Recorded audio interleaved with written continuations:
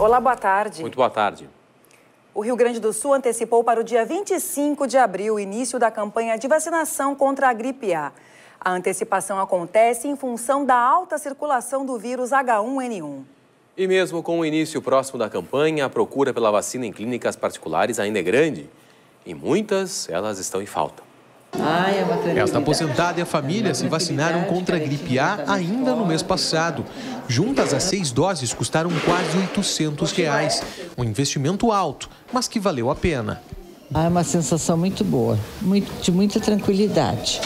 Pelos filhos terem contato com o público no serviço deles e pela netinha na escola, que, cheia de coleguinhas e assim nos dá bastante tranquilidade.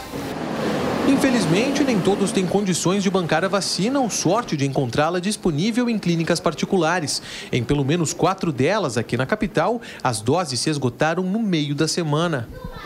Nós estamos com ela em falta desde quarta-feira, aguardando para provavelmente segunda-feira. Com a antecipação da campanha, o Estado recebeu no início da semana as primeiras doses da vacina. É no almoxarifado central do estado, aqui em Porto Alegre, que as vacinas recebidas pelo Ministério da Saúde ficam armazenadas pelas primeiras horas. Daqui elas são distribuídas para as coordenadorias regionais de saúde responsáveis pela entrega nas unidades básicas. Nesse momento, a prioridade são os municípios mais distantes da capital.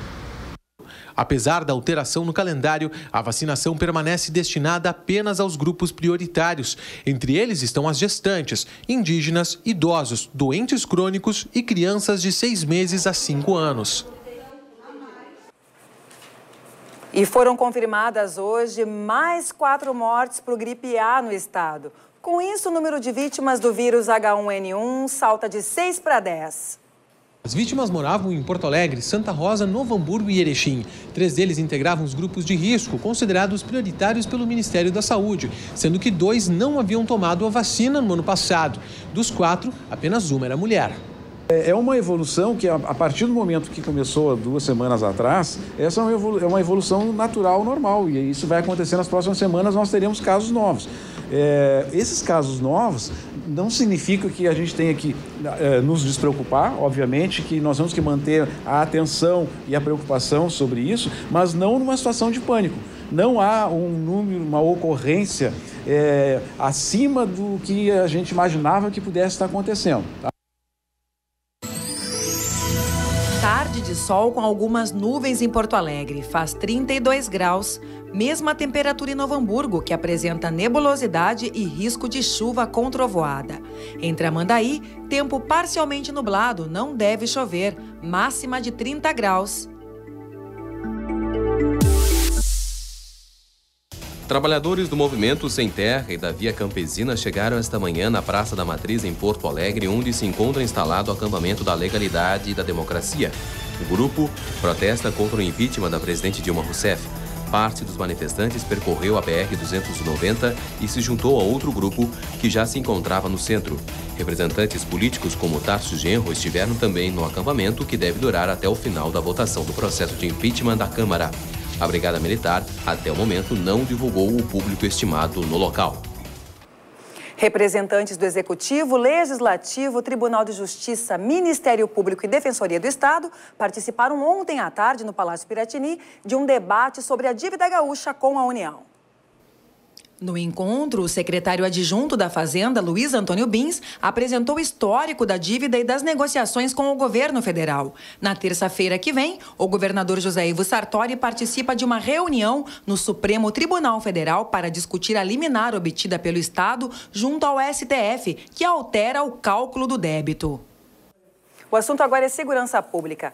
A Polícia Civil, Brigada Militar e EPTC promoveram uma ação na madrugada desta sexta-feira na zona norte de Porto Alegre para coibir a prática de rachas de automóveis e motos.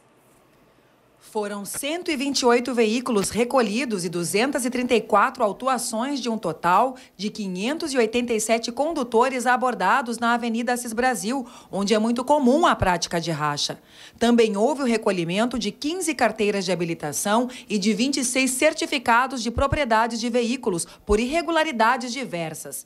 Foi feita a prisão de duas pessoas por porte ilegal de arma de fogo e seis adolescentes foram conduzidos para o Departamento Estadual da Criança e do Adolescente por porte de drogas ou por estarem ingerindo bebidas alcoólicas. Mais de 100 agentes públicos participaram da ação, que também contou com a participação da Secretaria Municipal de Indústria e Comércio. Conforme a EPTC, somente neste primeiro trimestre já ocorreram 71 blitz em pontos diversos da cidade. Carris testa um novo ônibus elétrico em Porto Alegre. O modelo vai ser utilizado nas linhas circulares C1, C2 e C3. Um veículo fabricado na China emprega tecnologia de ponta e tem um motor mais potente do que o ônibus testado no ano passado na capital gaúcha. Em Caxias do Sul, a sexta-feira será de céu parcialmente nublado. Não deve chover, faz 28 graus. Temperatura igual na cidade de Passo Fundo, onde o sol aparece entre nuvens e existe chance de precipitação. Mesma condição em Ijuí, que terá máxima de 31 graus.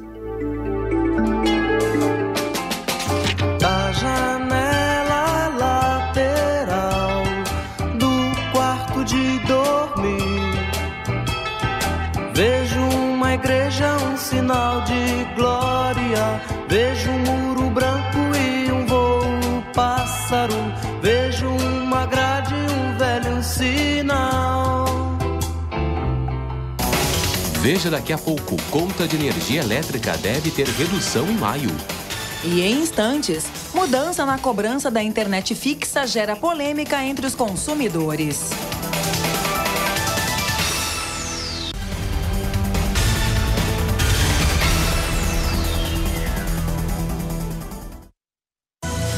Tempo parcialmente nublado e possibilidade de chuva rápida em Uruguaiana. Temperatura de 30 graus.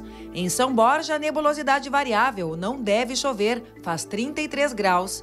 Em Alegrete, sol com algumas nuvens. Chove rápido durante o dia e a noite. Máxima de 30 graus.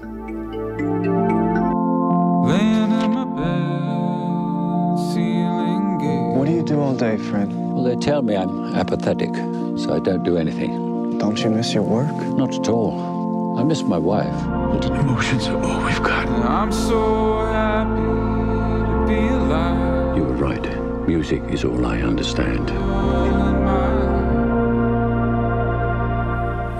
Segurança Pública. O governador José Ivo Sartori disse ontem que a Secretaria da Segurança não tem condições de ceder policiais gaúchos para reforçar a segurança às Olimpíadas. O pedido havia sido feito pelo Ministério da Justiça com o objetivo de compor a Força Nacional que vai atuar durante os Jogos do Rio de Janeiro. Nós não temos como autorizar a retirada de nenhum policial da atividade de rua. Espero, evidente, a compreensão do Ministério da Justiça, do governo federal. O Rio Grande do Sul não vai ceder policiais para as Olimpíadas. Claro, que isso não impede outras formas de colaborar, de ajudar e de contribuir. Nossa prioridade absoluta é a segurança dos gaúchos e nós, particularmente, defendendo sempre os interesses das gaúchas e dos gaúchos. Exportações em queda. As vendas externas do Rio Grande do Sul recuaram 1,7% em fevereiro na comparação com o mesmo período do ano passado. Conforme o balanço da Fiergues, o valor comercializado foi de 859 milhões de dólares, o que deixa o Estado na sexta colocação do ranking nacional. Já a indústria teve desempenho positivo, com destaque para os setores de celulose, papel, produtos químicos, couro e calçados. E voltamos a falar de saúde, porque a hanseníase ainda é um caso de saúde pública em Porto Alegre. A doença está em remissão, ou seja, poucos casos, mas ainda não foi eliminada. Por isso, profissionais da rede pública da saúde e de saúde da capital estão sendo capacitados para realizar diagnóstico precoce e tratamento. A capacitação é para que esses profissionais possam identificar lesões na pele que podem ser sinal de hanseníase. Na capital, de cada 100 mil habitantes, pelo menos uma pessoa tem a doença causada pelo bacilo de Hansen, segundo a Vigilância em Saúde. O que diferencia a hanseníase de outras doenças é que no local onde tem a lesão, geralmente tem perda de sensibilidade ou insensibilidade. Tem diminuição do suor, porque ataca as glândulas sudoríparas, né? E também tem rarefação de pelos no local. Acaba caindo o pelo porque também uh, envolve as células eretoras do pelo. A hanseníase tem cura e o tratamento é gratuito na rede pública de saúde. Ainda não tem data para ir ao plenário um projeto de lei que dificulta o acesso ao aborto legal. De autoria do deputado Eduardo Cunha, o projeto foi aprovado pela Comissão de Constituição e Justiça da Câmara no ano passado. A proposta condiciona a permissão da interrupção da gravidez à comprovação de um exame de corpo de delito e um comunicado à autoridade policial. Este é o último trecho do TVE Repórter que você confere agora.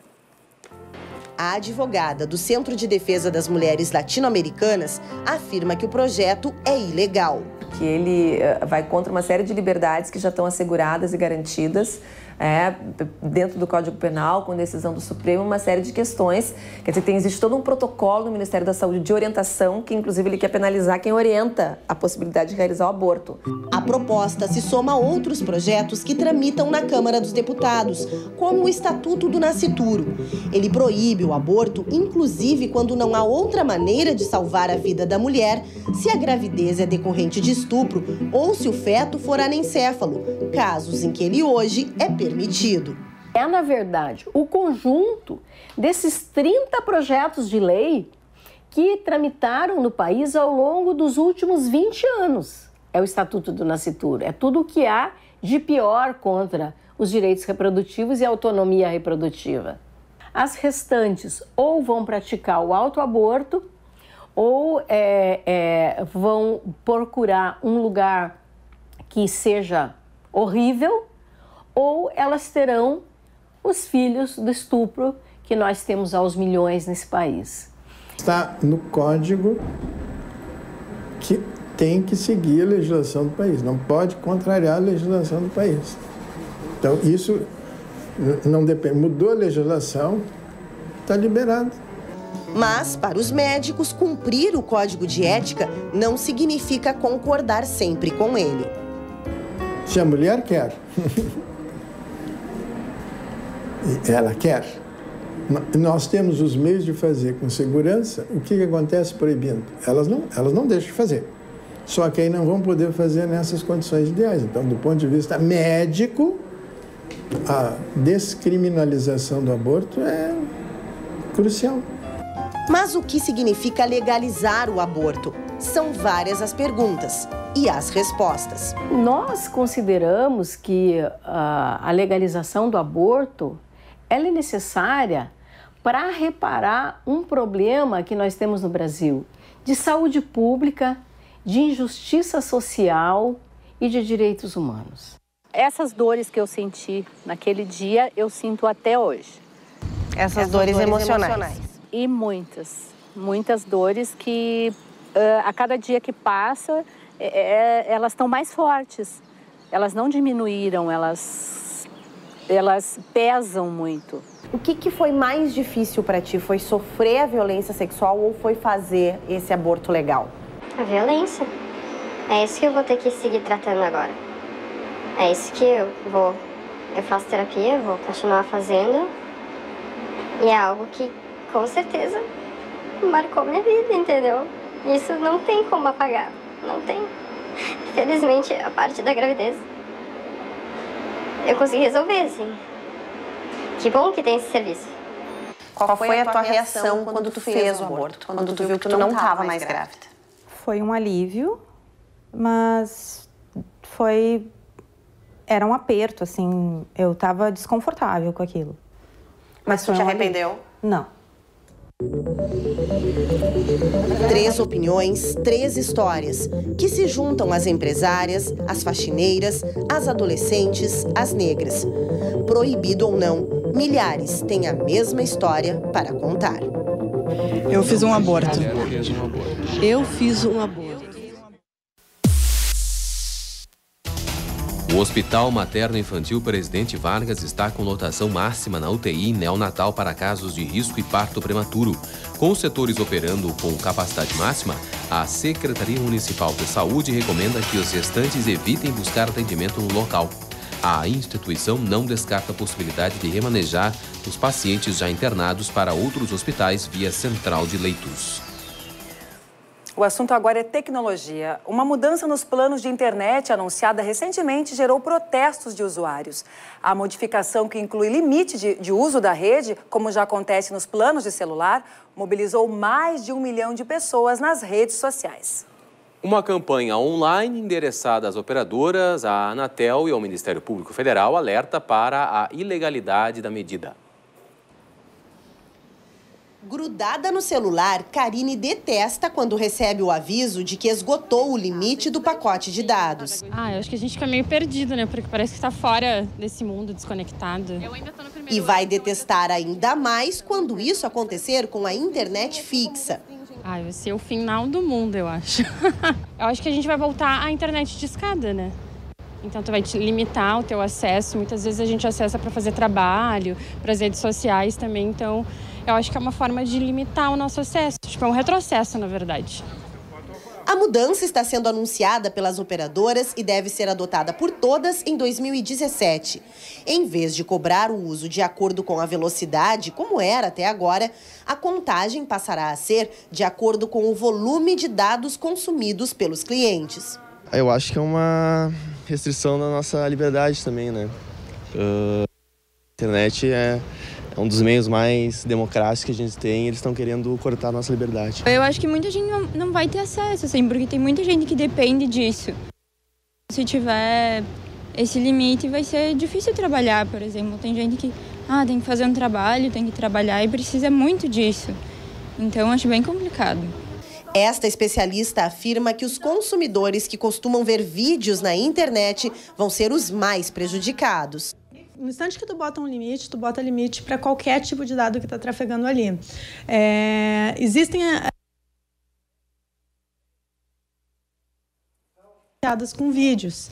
Então, aí entra, por exemplo, o Netflix e o YouTube. É, essa questão do Netflix são jogos online, eu vejo bastante o pessoal reclamando uh, que vai ser prejudicado. Mas eu não vi ainda ninguém falar do, da questão dos, é, de quem usa educação à distância.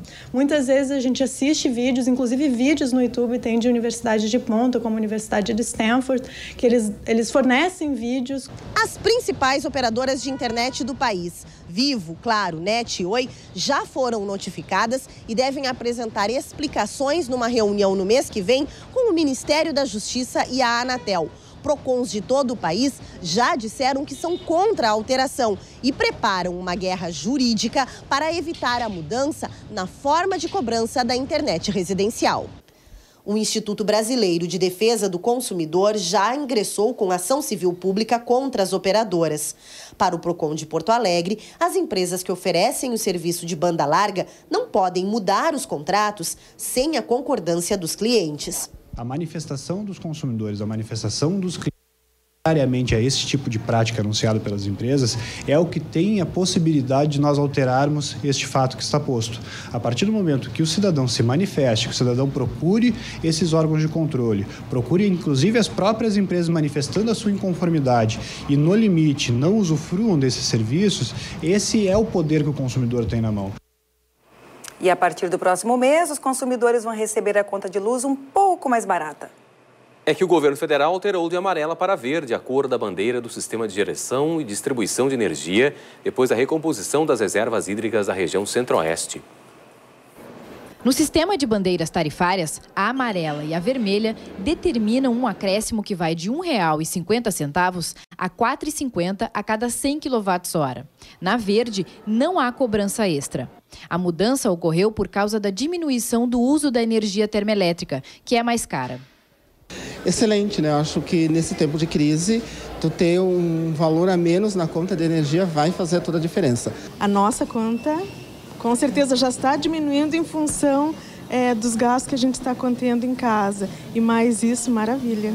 De acordo com o diretor de planejamento da Secretaria Estadual de Minas e Energia, a mudança na bandeira tarifária da amarela para verde deveria ter sido melhor avaliada. Foi uma precipitação essa questão dessa mudança da faixa tarifária de amarela para verde, no momento em que o sistema interligado, principalmente o sistema na configuração norte, nordeste, centro-oeste, oeste, estão entrando num período crítico. Tá? que realmente é um período que realmente período seco. Teira Verde começou a valer a partir do dia 1 desse mês. Isto é, vai se refletir na conta de maio. Bairros Vila Jardim e Bom Jesus, na zona leste da capital, terão abastecimento de água suspenso nesta sexta-feira, da 1 às 5 e meia da tarde. O motivo é um serviço programado pela CE que deixará a estação de bombeamento de água tratada Vila Brasília sem energia elétrica. Com a estação desligada, o abastecimento nessas duas regiões fica afetado. Previsão é de que o serviço seja normalizado durante a noite de sexta, podendo avançar na madrugada de sábado nas áreas altas e pontas do sistema. Em Santa Cruz do Sul, o aumento de nuvens pela manhã pode ocasionar chuva à tarde e à noite. Faz 31 graus. Temperatura igual em Santa Maria, onde o tempo fica parcialmente nublado e pode chover até o final do dia. Mesma condição em Cachoeira do Sul, que terá máxima de 31 graus. Veja a seguir, Orquestra Vila Lobos, formada por jovens estudantes da Lomba do Pinheiro na capital, comemora 24 anos. E também, 11ª edição do Festival Palco Giratório do Sesc traz espetáculos de vários estados para Porto Alegre.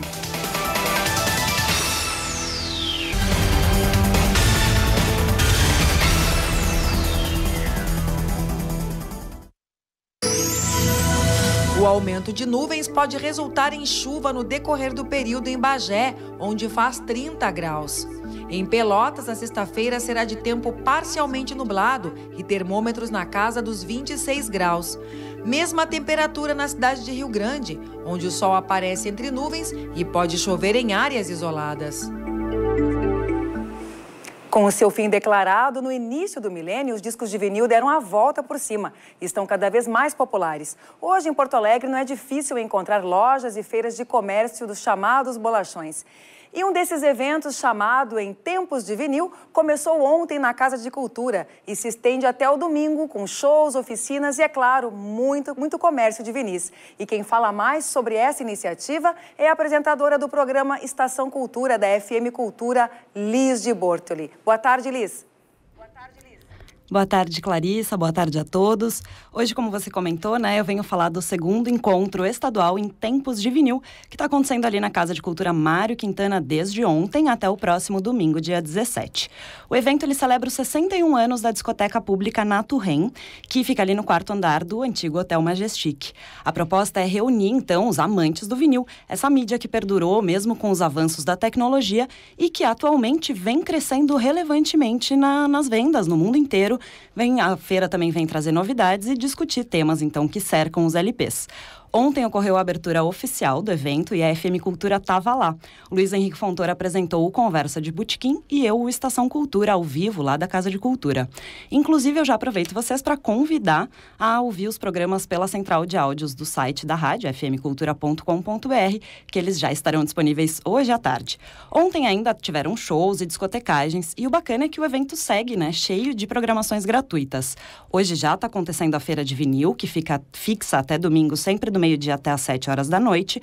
Tem discotecagem do DJ Anderson, da Ultraman, bate-papo mixando ideias com o Piau, o DJ Anderson e o Porã. E mais à noite, às 8 horas da noite, tem a exibição do documentário 30 anos de Rock Grande do Sul. Amanhã tem oficina de discotecagem, bate-papo sobre vinil na atualidade, com Pedrinho Figueiredo, Edu Santos, Roger Lerina e Carlinhos Carneiro. Tem show da Eletrocordes e exibição do filme A Casa Elétrica. E no domingo, para encerrar, tem festa, das três da tarde até as sete da noite. DJ Pia, Banda Helsinki, Mai Andara e Grupo Três Solos comandam o som. Esse domingo que promete estar muito animado. A gente se vê por lá, então. Eu espero que todos possam comparecer a esse lindo evento. E eu volto na próxima semana com mais um comentário da nossa agenda cultural. E a gente se encontra por aqui pelas ondas sonoras da 107.7. Foi lançada na noite de ontem a 11ª edição do Festival Palco Geratório do Sesc Porto Alegre. Entre os dias 4 e 25 de maio, a capital gaúcha irá receber espetáculos de 16 estados diferentes que pretendem fazer um recorte da cena cultural brasileira. Durante os 22 dias de evento, mais de 100 sessões artísticas estão previstas. Serão peças teatrais para todos os públicos, exposições de artes visuais, apresentações musicais e seminários. E na noite desta quinta-feira, a Orquestra Vila Lobos festejou o seu aniversário de 24 anos com um concerto no Teatro Renascença. A orquestra é um projeto social que oferece conhecimento musical para jovens da Loma do Pinheiro, periferia de Porto Alegre. Orquestra Vila Lobos, o erudito encontra o popular.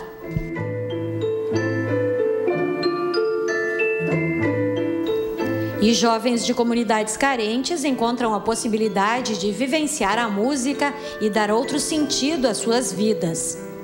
A música ele é um fator de transformação muito grande na vida dessas crianças e de todos nós educadores que atuamos na frente da Orquestra Vila Lobos. Por ano, cerca de 800 alunos participam das oficinas de música. O projeto é mantido pela Prefeitura de Porto Alegre, com o apoio do governo federal, de empresas privadas e de organizações não governamentais. A Aline está se despedindo da orquestra. Ela entrou no projeto há nove anos. Começou tocando flauta doce e depois passou para o violoncelo. Ano passado, entrou na Faculdade de Música da URGS. Você acha que a vida, sua vida seria muito diferente se, se você não tivesse ido lá há nove anos atrás entrado nessa orquestra? De fato seria, né? Pela a cultura que eu tenho lá não é das melhores na, na Vila Mapa, né? Mas a orquestra me influenciou para outro caminho. Te mostrou outro universo também. Isso. Que existe oportunidade lá fora além daquilo que a gente tem ali.